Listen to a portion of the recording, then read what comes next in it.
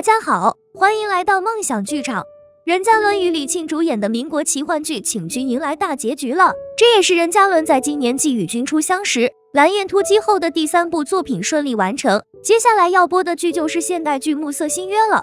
不过，《暮色新约》这部剧杀青已有数月，但至今还未官宣。有消息称是番位还没权衡好。要我说，只要作品质量过硬，一番二番与观众而言，应该也没什么区别。再者，大家比较担心女主角卑鄙的演技，所以从开机那天起，《暮色新约》便一直争议不断。但俗话说得好，未知全貌不予置评。任嘉伦曾说，《暮色新约》这部戏是他投入心血最多的一部剧，剧中一人分饰多角，所以大家还是静心期待一下后期的工作吧。到时间了，自然就会物料都来了，希望今年可以等到播出。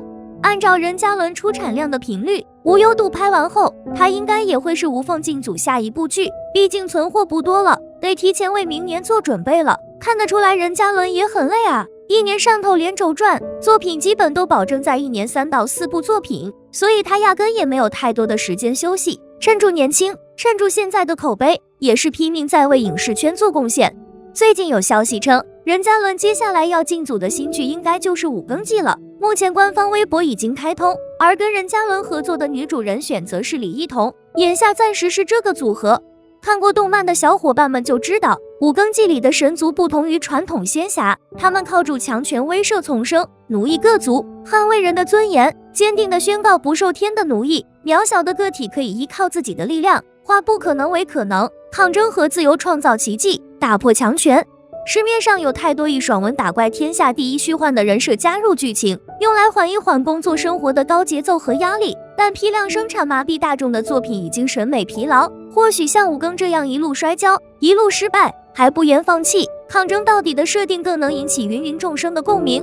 以前的古装剧人设基本都是打不死的小强，主角光环太重。而五更季中主角光环再强、再能拼、再有天资，他也是天创造出来的人。现实中也有很多这类人，拼了命的努力也总有达不到的高度，比不上的人。所谓人比人气死人，这句话十分有道理。这样的主角设定很新颖，更能引起普通人的共鸣。一个好的的人设，确实是可以为演员加分的。很多演员能一次成功，多半是靠人设。我想吴谨言在这方面就最有发言权了。由他主演的《延禧攻略》中，魏璎珞一角就是爽文女主。在坏角色的陪衬下，魏璎珞这个女性仿佛浑身充满了魅力，可以说是人见人爱。不过，在任嘉伦还未点头说自己真的已经接了《五更季》这部剧时，任嘉伦的粉丝却有了很大的意见。这几日，任嘉伦工作室微博下也都是粉丝们的诉求，大家只有一个目的，就是希望团队以后能保证任嘉伦一番男主的待遇。不少粉丝现在就十分抵制任嘉伦出演《五更季》这部剧，不为别的，就是拒绝二搭。这个二搭说的不是李一桐，而是导演、编剧。据悉，《五更季》的制作班底就是《请君》的导演和编剧。粉丝认为，《请君》这部剧让任嘉伦受到了不公平待遇，他的大量戏份遭删减，有几集甚至路演就是活在其他人的台词中，或是沦为背景板，男主待遇完全遭忽视。大家看剧本。来就是冲住任嘉伦这张脸去的。结果倒好，一剪没，不少高光时刻都剪了。花絮里能看到，预告片里能看到，就是正片里看不到，引起任嘉伦粉丝不满。若五更季导演和编剧还是请君的那几位，那以后任嘉伦的戏份还会被删减，所以粉丝抵制也是情有可原。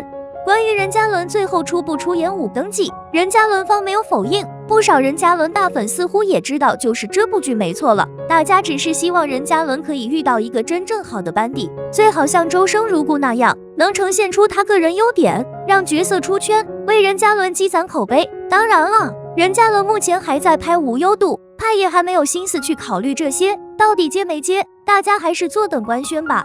今天的视频就到这里了。喜欢的点赞、留言、加关注，我们下期再见。